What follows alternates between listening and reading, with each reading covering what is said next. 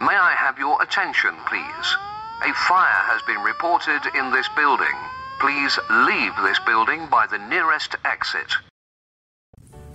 അസ്സാം വലൈക്കും വരഹമുല്ല നമുക്ക് ഈ ഒരു വീഡിയോയിലൂടെ എന്താണ് ഫയർ അലാറം സിസ്റ്റം എന്നും ഈ സിസ്റ്റം എങ്ങനെയാണ് വർക്ക് ചെയ്യുന്നത് എന്നും ഫയർ അലാറം സിസ്റ്റം ഒരു ബിൽഡിങ്ങിന് അതല്ലെങ്കിൽ അവിടെയുള്ള ആളുകൾക്ക് എങ്ങനെയാണ് പ്രൊട്ടക്ഷൻ നൽകുന്നത് എന്നും മനസ്സിലാക്കാം നമ്മളെല്ലാവരും തന്നെ ദൈനംദിന ജീവിതത്തിൽ വ്യത്യസ്തങ്ങളായ പേരുകളിൽ അറിയപ്പെടുന്ന ഒരുപാട് കെട്ടിടങ്ങളെ അഥവാ ബിൽഡിങ്ങുകളെ ആശ്രയിക്കുന്നവരായിരിക്കും. അതൊരു പക്ഷേ ഷോപ്പിംഗ് മാളുകളാവാം അതുപോലെ റെസിഡൻഷ്യൽ അതല്ലെങ്കിൽ ഓഫീസ് ഫ്ളാറ്റുകൾ സ്ഥിതി ചെയ്യുന്ന ബിൽഡിങ്ങുകളാവാം സ്കൂൾസ് ഹോസ്പിറ്റൽസ് ഫാക്ടറികൾ സ്ഥിതി ചെയ്യുന്ന വെയർഹൗസസുകൾ ഇങ്ങനെ ഏത് തരം പ്രോപ്പർട്ടി സ്ഥിതി ചെയ്യുന്ന ബിൽഡിങ്ങുകളാണെങ്കിലും ഇത്തരം ബിൽഡിങ്ങുകളിൽ ഉണ്ടാകുന്ന സ്മോക്ക് അതല്ലെങ്കിൽ ഫയർ അതല്ലെങ്കിൽ ബേസ്മെന്റ് ഫ്ലോറുകളിൽ ഉണ്ടാകുന്ന കാർബൺ മോണോക്സൈഡ് വാതകത്തിന്റെ സാന്നിധ്യം. അതുമല്ലെങ്കിൽ ഫയറുമായി ബന്ധപ്പെട്ട മറ്റേതെങ്കിലും തരത്തിലുള്ള അത്യാഹിതങ്ങൾ എന്നിവയെ അതിന്റെ തുടക്കത്തിൽ തന്നെ ഡിറ്റക്ട് ചെയ്തുകൊണ്ട് അതല്ലെങ്കിൽ സെൻസ് ചെയ്തുകൊണ്ട് ആ ഒരു ബിൽഡിങ്ങിലുള്ള ആളുകളെ അലേർട്ട് ചെയ്യുവാനും അവരെ എളുപ്പത്തിൽ ബിൽഡിങ്ങിൽ നിന്നും ഇവാക്വേറ്റ് ചെയ്യാൻ സഹായിക്കുവാനും വേണ്ടി ആ ഒരു ബിൽഡിങ്ങിൽ ഇൻസ്റ്റാൾ ചെയ്തിട്ടുള്ള ഒരു ഇലക്ട്രോണിക്സ് എക്യുപ്മെന്റ് ആണ് fire alarm system F A C P അഥവാ ഫയർ അലാറം കൺട്രോൾ പാനൽ ഈ ഒരു പാനലിലേക്ക് കണക്ട് ചെയ്തിട്ടുള്ള ഒരു കൂട്ടം ഇൻപുട്ട് ഔട്ട്പുട്ട് ഡിവൈസുകൾ അടങ്ങിയതാണ് ഫയർ അലാറം സിസ്റ്റം ഇനി നമുക്ക് ഇൻപുട്ട് ഡിവൈസുകൾ പരിചയപ്പെടാം. ഒരു പ്രധാനപ്പെട്ട ഇൻപുട്ട് ഡിവൈസാണ് സ്മോക്ക് ഡിറ്റക്ടർ അതായത് ഒരു ഫയറിന്റെ തുടക്കത്തിൽ ഉണ്ടാകുന്ന സ്മോക്ക് സെൻസ് ചെയ്തുകൊണ്ട് ഫയർ അലാറത്തെ ആക്ടിവേറ്റ് ചെയ്യിപ്പിക്കുന്ന ഒരു ഡിവൈസ് ആണ് സ്മോക്ക് ഡിറ്റക്ടർ ഈ ഒരു ഡിവൈസ് ഒരു കെട്ടിടത്തിൽ around four to five metre ഡിഫറൻസിൽ എല്ലാ ഏരിയയിലും ഇൻസ്റ്റാൾ ചെയ്തിട്ടുണ്ടാവും.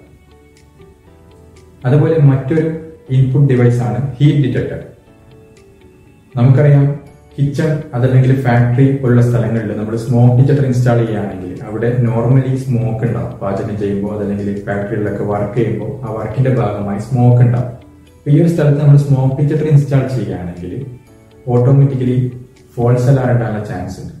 അപ്പൊ ഇത് അവോയ്ഡ് ചെയ്യാൻ വേണ്ടിയിട്ട് ഇങ്ങനെയുള്ള സ്ഥലങ്ങളിൽ ടെമ്പറേച്ചർ സെൻസ് ചെയ്തുകൊണ്ട് ഒരു ഫിഫ്റ്റി എയ്റ്റ് ഡിഗ്രി അല്ലെങ്കിൽ സിക്സ്റ്റി ഡിഗ്രിക്ക് മുകളിൽ ടെമ്പറേച്ചർ ഉണ്ടാകുമ്പോൾ ആ ഡിവൈസ് അതായത് ഹീറ്റ് ഡിറ്റക്ടർ ആക്ടിവേറ്റ് ആവുകയും അത് ഫയർ അലാറം ഫയർ അലാറം പാനലിനെ ആക്ടിവേറ്റ് ചെയ്യിപ്പിക്കുകയാണ് ചെയ്യുന്നത്.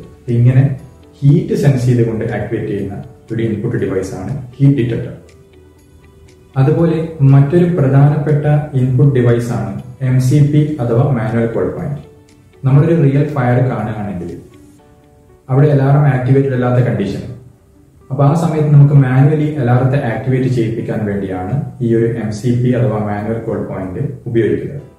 രണ്ട് വിധത്തിലുള്ള മാനുവൽ കോൾ പോയിന്റുകൾ ഇന്ന് അവൈലബിൾ ആണ്. ഒന്ന് ബ്രേക്ക് ഗ്ലാസ് ആണ്. നമുക്ക് ആ ഗ്ലാസ് ബ്രേക്ക് ചെയ്തുകൊണ്ട് അലാറം ആക്ടിവേറ്റ് ചെയ്യിപ്പിക്കാം.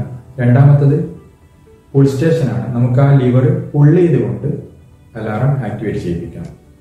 അതുപോലെ മറ്റൊരു ഇൻപുട്ട് ഡിവൈസ് ആണ് ബീം ഡിറ്റക്ടറുകൾ വെയർഹൗസസ് അതല്ലെങ്കിൽ ഷോപ്പിംഗ് മാളുകളിലൊക്കെ റൂഫ് ടോപ്പ് അല്ലെങ്കിൽ റൂഫ് കുറച്ച് ഹൈ ലെവലുള്ള സ്ഥലങ്ങളിൽ ബീം ടു ബീമിന്റെ ഇടയിൽ ഈ ഒരു ട്രാൻസ്മിറ്റർ ആൻഡ് റിസീവർ ബീം ട്വിറ്ററിൽ ഇൻസ്റ്റാൾ ചെയ്തുകൊണ്ട് അതിന്റെ ഇടയിൽ ഫയർ ഉണ്ടായി കഴിഞ്ഞാൽ അത് സെൻസ് ചെയ്ത് ഓട്ടോമാറ്റിക്കലി ആക്ടിവേറ്റ് ചെയ്യുന്ന ഒരു ഡിവൈസ് ആണ് എം ഡിറ്റക്ടർ അതുപോലെ മറ്റൊരു ഇൻപുട്ട് ഡിവൈസ് ആണ് ഫ്ലൈം ഡിറ്റക്ടർ അഥവാ ഫ്ലൈമിന്റെ ഫോട്ടോ ഡയറക്റ്റ് ക്യാച്ച് ചെയ്തുകൊണ്ട് ഫയർ അലാർട്ട് ആക്ടിവേറ്റ് ചെയ്യിപ്പിക്കുന്ന ഒരു ഡിവൈസ് ആണ് ഫ്ലൈം ഡിറ്റക്ടർ ഫാക്ടറികളിലാണ് ഇത് കൂടുതൽ യൂസ് ചെയ്യാറ്. അതുപോലെ മറ്റൊരു പ്രധാനപ്പെട്ട ഇൻപുട്ട് ഡിവൈസ് ആണ് സിഒ ഡിറ്റക്ടർ അഥവാ കാർബൺ മോണോക്സൈഡ് ഡിറ്റക്ടർ ബേസ്മെന്റ് ഫ്ലോറുകളിൽ ഉണ്ടാകുന്ന കാർബൺ മോണോക്സൈഡിന്റെ സാന്നിധ്യം ഡിറ്റക്ട് ചെയ്തുകൊണ്ട് അലാറം പാനൽ ആക്ടിവേറ്റ് ചെയ്യിപ്പിക്കാൻ വേണ്ടിയിട്ടാണ് ഈ ഒരു ഡിവൈസ് ഉപയോഗിക്കുന്നത്.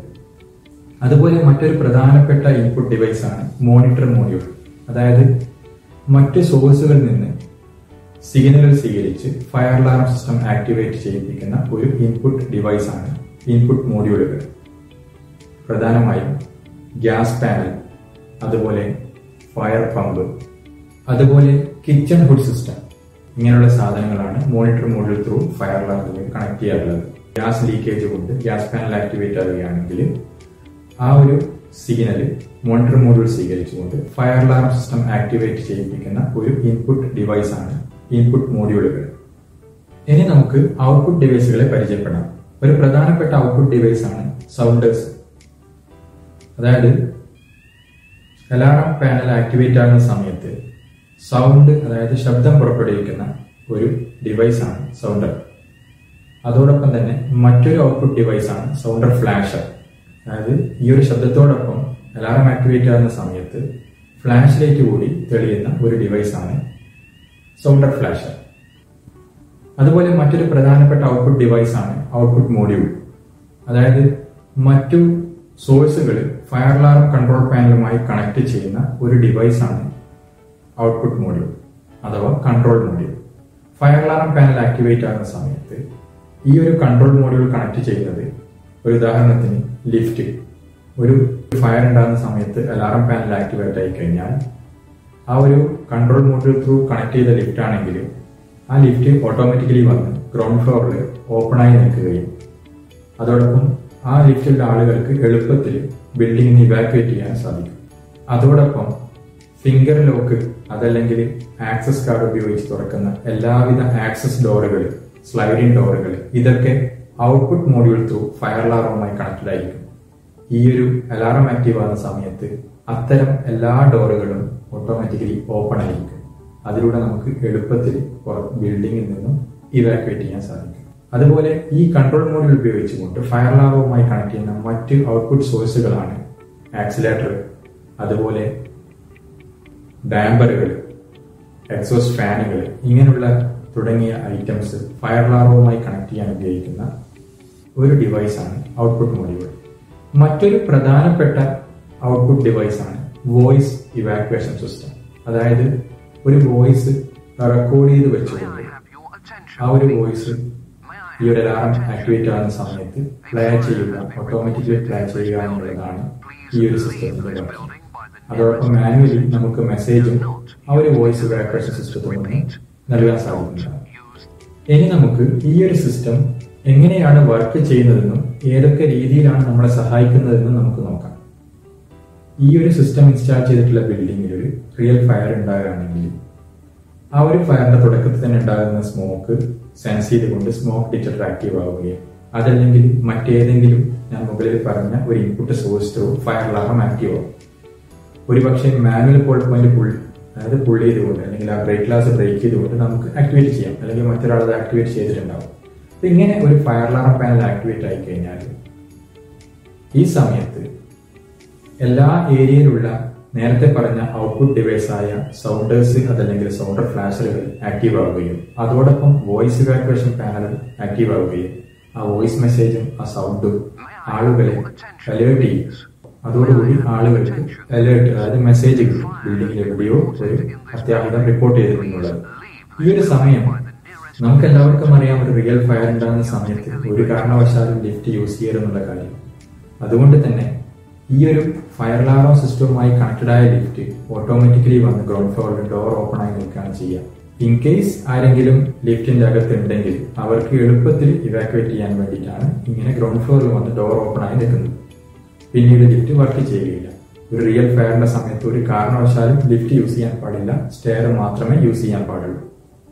അതുപോലെ ബിൽഡിങ്ങിലുള്ള ആക്സിലേറ്ററുകൾ സ്റ്റോപ്പ് ആവും. ആ രണ്ട് ആക്സിലേറ്റർ അതായത് നമുക്ക് രണ്ട് വശത്തേക്ക് പോകുന്ന ആക്സിലേറ്റർ നമുക്ക് ഇമ്മീഡിയറ്റ്ലി ആയിട്ട് ഇവാക്യുവേറ്റ് ചെയ്യാൻ വേണ്ടിയിട്ട് ഒരു സൈഡിലേക്ക് അതായത് ഓഫ് പൊസിഷനിലേക്ക് നിൽക്കുന്നതായിരിക്കും. അതോടൊപ്പം എല്ലാ എക്സിറ്റ് ഡോറുകളും ഒരുപക്ഷെ പല ഡോറുകൾക്കും ഫിംഗർ പ്രിന്റ് അതല്ലെങ്കിൽ ആക്സസ് കാർഡ് ലോക്കുകളുടെ ഡോറുകളായിരിക്കും ഓഫീസ് ആണെങ്കിലും മറ്റെവിടെയാണെങ്കിലും ഇങ്ങനെയുള്ള ഡോറുകളൊക്കെ ഈ ഒരു ഫയർ അലാറം സിസ്റ്റവുമായിട്ട് കൺട്രോൾ മൊഡ്യൂൾ കണക്റ്റഡ് ആയിരിക്കും.